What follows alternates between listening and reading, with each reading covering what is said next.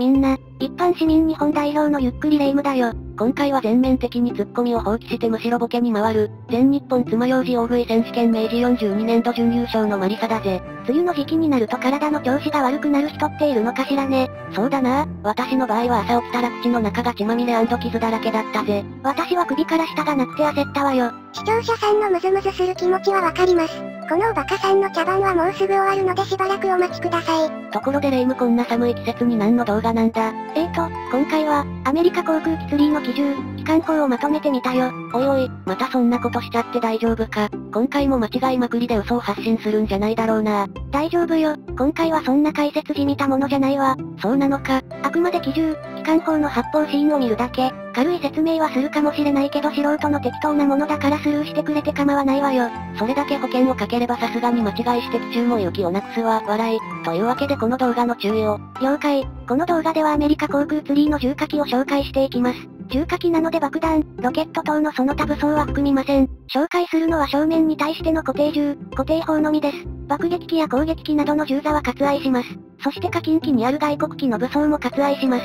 そして動画内での武装の故障はゲーム内表記のものとします。ところどころおかしく感じるかもしれませんがご了承くださいませ。さらに言ってしまうと紹介する機銃と機関砲は回収済みのものとそうでないものがあるんだぜ。回収が終わってないものはテストフライトで参考設定にして撮影してるんだぜ。そしてさらにさらに、説明の中にある毎秒射撃量は1兆あたりのものとなっていて計算間違いの可能性があるよ。計算中に数第4位でぴったりのものはそのまま表記しているけど、それ以上続くものは死者誤入して小数第3位で表記しているよ。本当に間違いの可能性があるから当てにしすぎないでね。そろそろやろうぜ。そうね。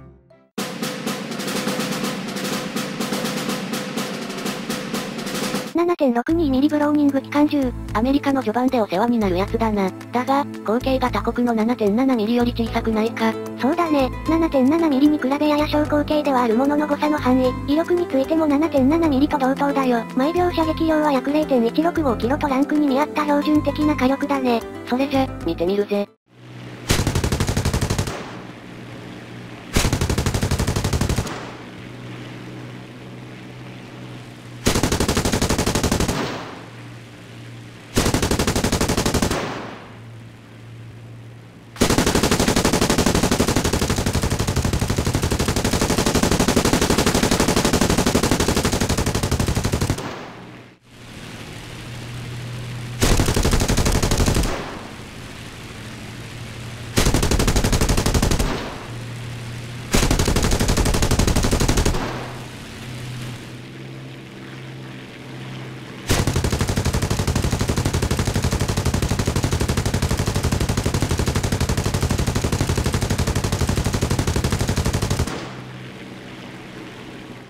7.7ミリブローニング機関銃。毎秒射撃量は約0.165キロ。同じだな。同じよね。細部が違ったりするのかな。弾道や弾薬ベルト、平均的な相談数とか、気になった方は各自で調べるように。おいおい、視聴者さんにやらせるんかい？わら。では見ていくよ。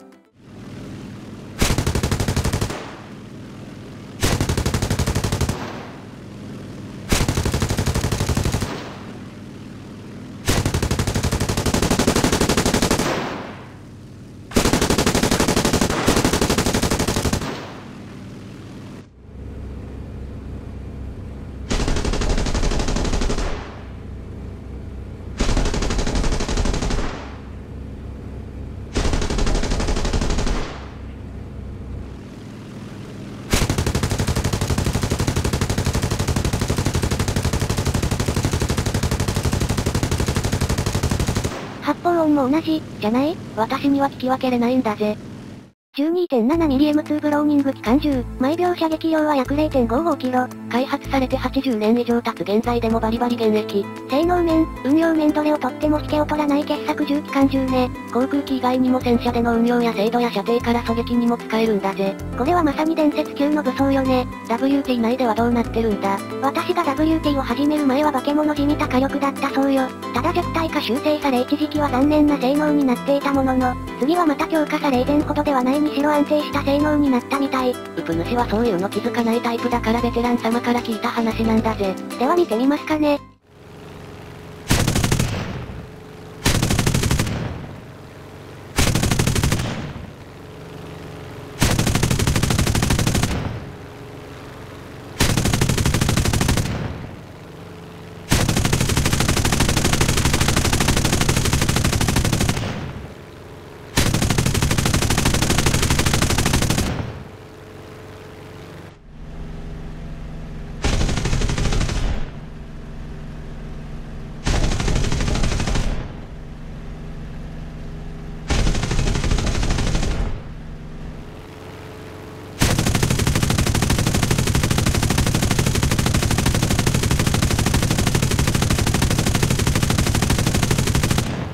構弾詰まりはしにくいわね。トリガーハッピーでも安心して使えるな。続きまして、20mm イスパノ404機関砲。イスパノはよく聞く機関砲だが404ってなんぞや。知らんわ。あ、教えてくれないんだ。知らないのに半端な解説しても仕方ないからね。各自で調べてね。この機関砲は毎秒射撃量 1.42kg でなかなかの火力をしているわ。その火力ゆえに門数を多く備えているものは今のところ記憶にないが、これの場合モーターカノンとして一門の装備となってるわね。とりあえず見てみるか。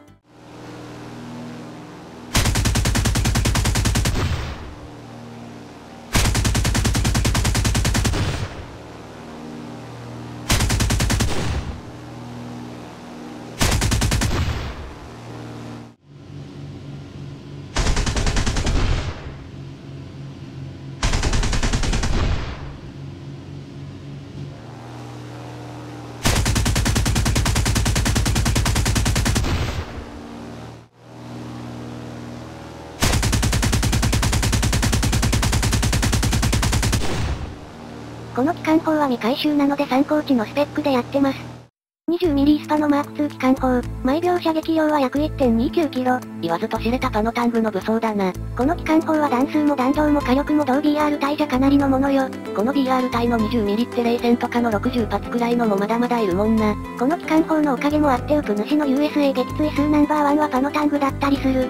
そうなのか、というわけでその機関砲とやらを見ますかな。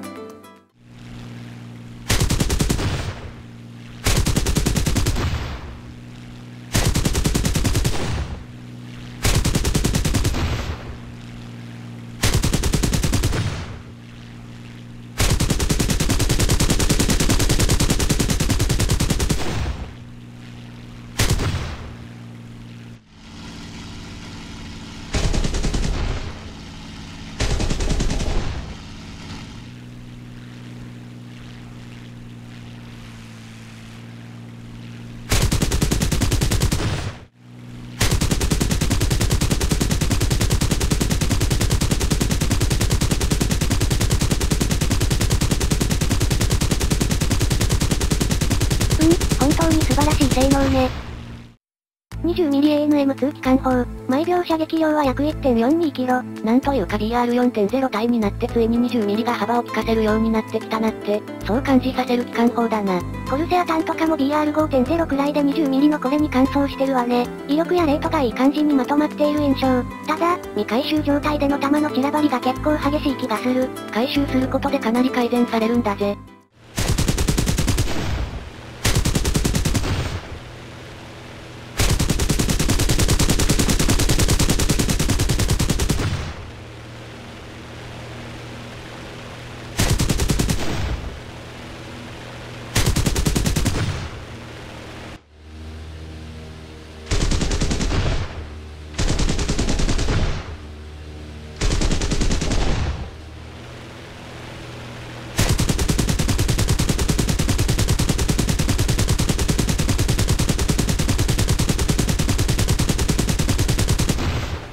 37mm M4 機関砲、毎秒射撃量は約 1.42kg。結構な大口径なのに射撃量は 20mm 程度なんだな。まあ、大口径な分ファイアレートが遅いからね。ここで評価すべきは一発の威力かな。ファイアレートと精度がひどいけど一発当たれば致命傷を与えるか粉砕するよ。それに機関砲だし弾をばらまけるから使い方によっては便利かも。どんな感じの射撃をするのか見てみるか。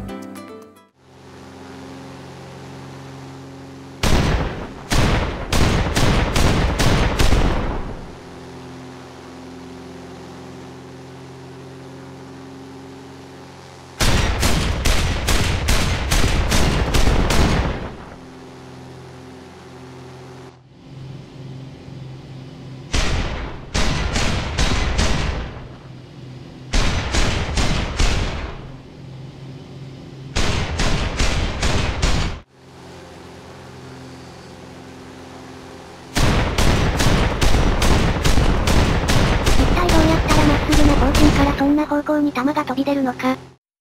37mmM10 機関砲、毎秒射撃量は約 1.61kg。さっきのやつより火力が増しているな。そうだね、それに相談数も増えているから弾持ちも良くなったよ。肝心の射撃精度は、パッと見ほぼ同じ。大して変わってないんじゃないかな確認するんだぜ。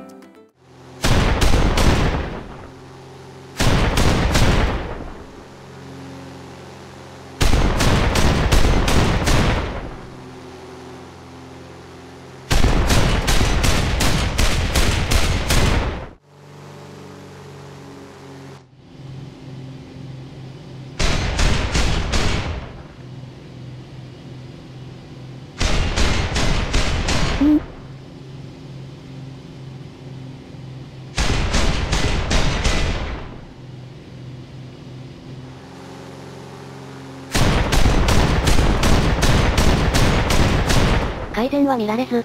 と、75mm T13E 大口径すぎてもはや機関砲でさえないぜ。毎秒射撃量は約1.92キロ。もうすぐで2キロ届きそうだが、これって単純に一発分の砲弾重量だろ。ただ問題はファイアレートがどうこういう問題ではなくフルオートで弾を撃てません。運用としては対地がほとんどか。大型の爆撃機であれば当たりそうなものだけどね。ロケットで航空機を落とすのと同じ難易度だな。じゃあ見てみるわよ。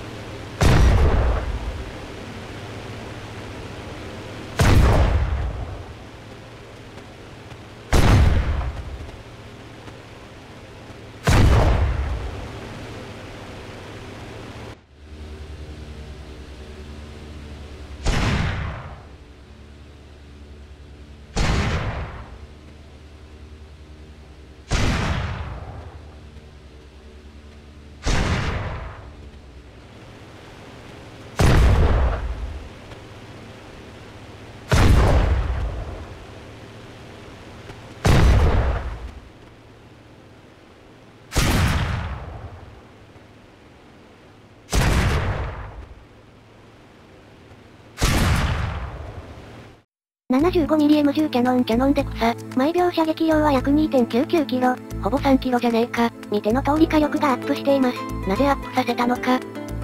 十分だろさっきので。まあ、向上心はいついかなる時でも持っていたいわよね。向上心動向以前に別物の方な気もするが。ちなみにこいつ単体の火力であればアメリカツリー最大の射撃量です。見せてもらおうか。USA 最大射撃量の性能とやらを。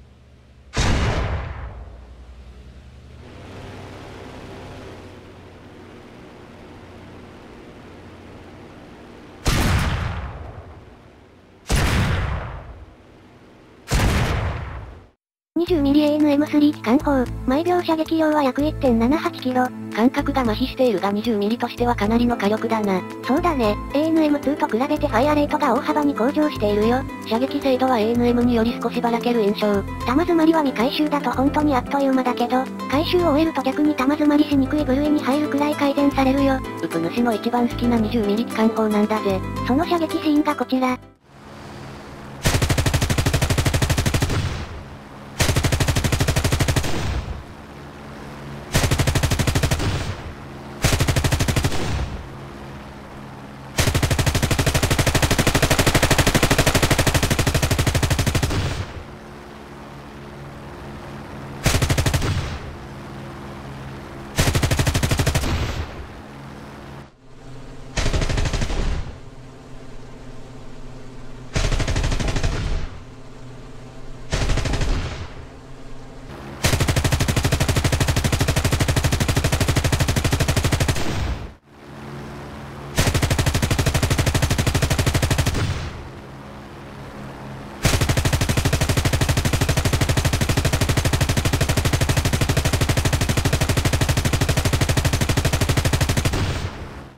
1.7mm M3 ブローニング機関銃。毎秒射撃量は約 0.87kg。M3 って M2 とどう違うんだよ。簡単に説明すると、M2 の重心を放熱率の高いものに換装し、電動モーターの補助で連射速度を向上させたものだよ。となるとファイアレートが良くなった上に弾詰まりしにくいのか。その通り、弾の減りは早いけど相談数は多いから本当に使いやすい。セイバーをはじめとするジェット機の標準武装みたいなイメージがあるね。見てみるぜ。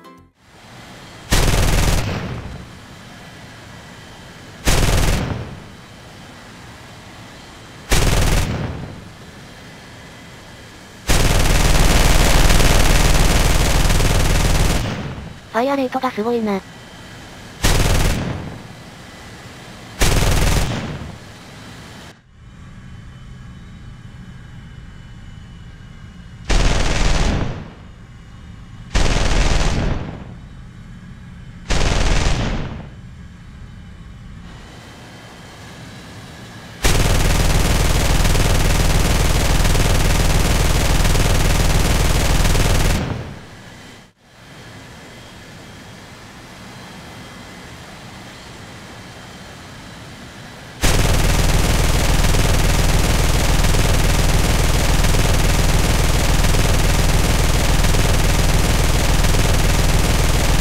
弾詰まりさせるには1151発分の弾を連続で撃ち続けないといけない。化け物かこの機銃は。20ミリブローニングコルトマーク12モッド3キャノン。名前長すぎ。毎秒射撃量は約 1.78kg。正直これ ANM3 と同じじゃないか。確かにほとんど同じな気がする。誰か違うところや特徴がわかる方はコメ欄で教えてほしいんだぜ。とりあえず見てみましょ。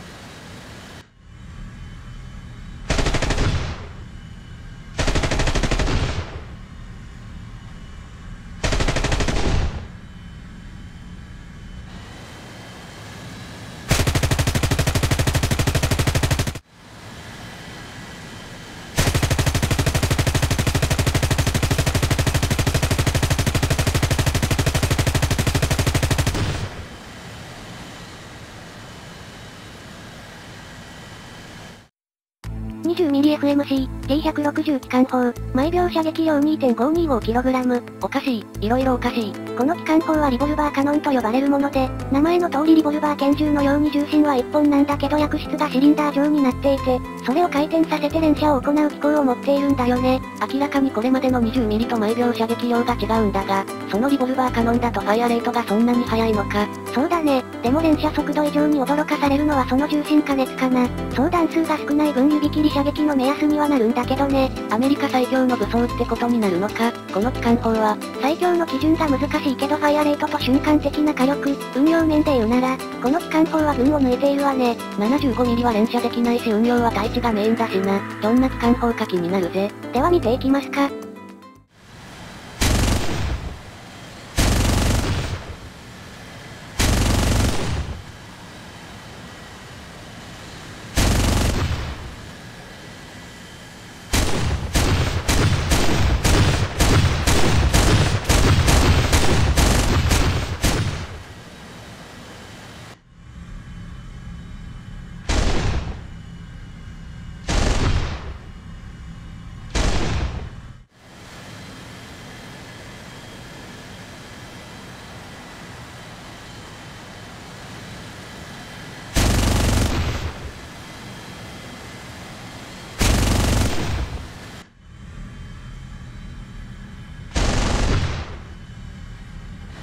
それではご覧ください。これがリボルバーカノンの弾詰まりです。早すぎせっかくだから交代翼ジェットの全力上昇行くわよ。マジかよ。それ、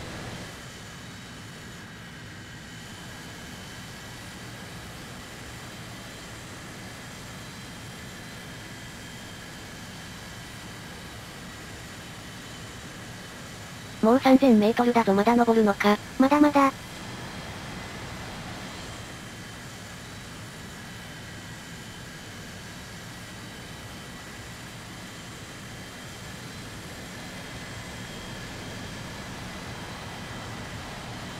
一気に4600メートルって、わら。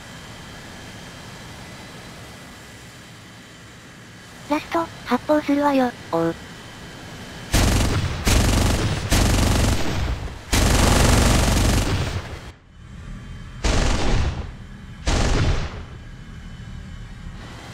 打ち分けたりできる。こうすれば弾が長持ちするな。ではの辺りで終わろうかな。まだまだイベント参加者募集中なんだぜ。興味のある方はぜひ概要欄から説明動画を確認してみてね。さて、間違いがいっぱいあると思うけどおそらくほとんどの機銃、機関砲は紹介できたわよね。そうだな。でも紹介し忘れもありそうで怖い。忘れてるのあったらこっそりコメント欄で教えてね。コメント欄にこっそりとかあるのだろうか。この動画が面白いと思ってくれた神の化身様はぜひ高評価、チャンネル登録よろしく頼むわね。せっかくだし、過去の動画を見てみないか、新たな発見があるかもしれないぜ。そんなわけでいつも通りのゆっくりレ夢ムと、ツッコミを放置したゆっくりマリサだったぜ。アディオス、プンギー。